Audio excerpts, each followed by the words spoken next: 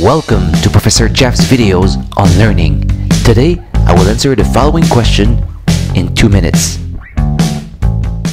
What is learning? Learning is a change in knowledge, skills, or behavior resulting from experience. Let's analyze the three components of this classic definition.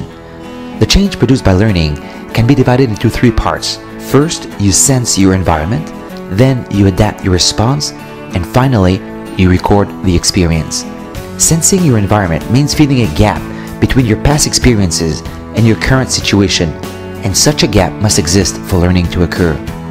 Adapting your response means integrating new information into past learning, and this ability to give meaning to new information through association and inference must exist for learning to occur.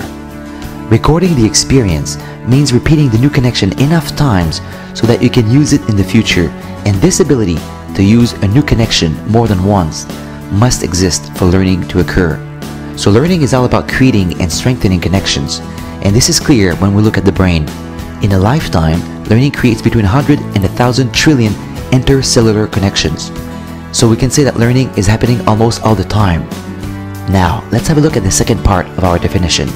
The famous educational psychologist Benjamin Bloom described three types or three domains of learning, namely the cognitive, psychomotor, and affective domains. In other words, we can change what we know, what we do, and what we feel. Finally, let's take a quick look at the third element of our definition. Experience is what differentiates the change generated by learning from any other types of changes, such as biological development. So for learning to occur, the change must come from an interaction with your environment. In one word, learning is adapting from previous experiences. Thank you for watching this presentation and see you soon.